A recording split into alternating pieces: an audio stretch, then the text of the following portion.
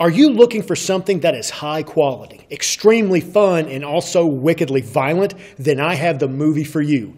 In Django Unchained, a slave is freed by a bounty hunter and not only offered a chance at revenge, but a hope of saving his wife.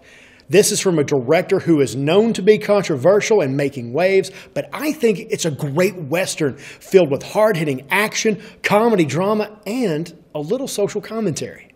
Django and a group of slaves are being led through the darkness one night when they come across a bounty hunter named Dr. Schultz. He kills the slavers and frees Django because he wants his help to hunt down the Brittle brothers.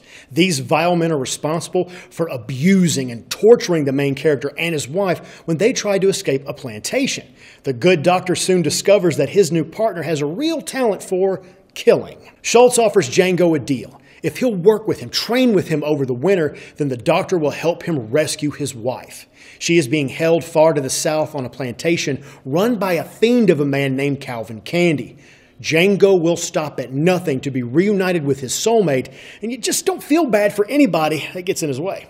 Written and directed by Quentin Tarantino, this is an example of what this guy does best. He gives you gritty action with comedy inside of an exceptionally written script with applause winning performances.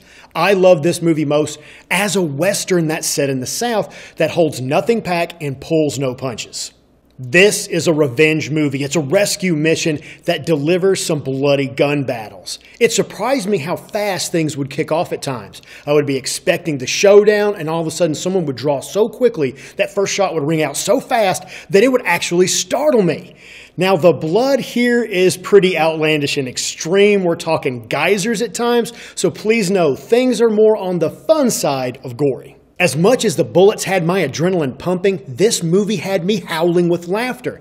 Even with the brutality and the serious avenues this film goes down, it has a great sense of humor throughout it. All of the characters, from the heroes to the bad guys, are gonna have you laughing even in moments and circumstances you really shouldn't find funny. It's a combination of well timed dialogue and the performance of the cast themselves that had me laughing when I was on edge and repulsed by what was going on. The comedy not only made me enjoy the movie more, but I was able to look past the jokes and the action and connect deeper into the film, but it never made light of its setting. Jamie Foxx makes Django a great Western hero. From the suffering that this guy has endured and forged him into this cold revenge machine, it's a great transition to get to watch because he barely speaks. This is a character of few words, but very deadly actions. When he becomes the trained and deadly gunfighter, it only gets better. If you've ever doubted Foxx as an actor, this is the role that may open your eyes. Teaming him with Christopher Waltz as Dr. Schultz was a brilliant idea. Waltz's charm and his wit are the perfect fit for this more action oriented title character.